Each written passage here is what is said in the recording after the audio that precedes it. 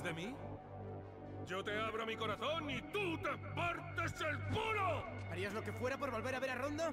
¡Quieto! ¿Hasta dejarme entrar? No hagas ninguna gilipollez. ¡Maldito cabrón! Vale, se acabó.